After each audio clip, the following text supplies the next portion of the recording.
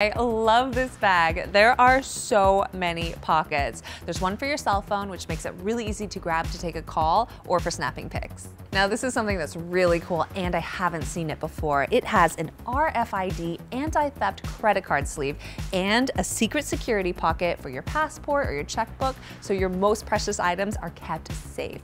And my favorite feature might be the insulated pocket that keeps my drink cool and close. Plus the large main interior is big enough to carry an iPad and it has an additional pocket where I like to keep all my favorite beauty items.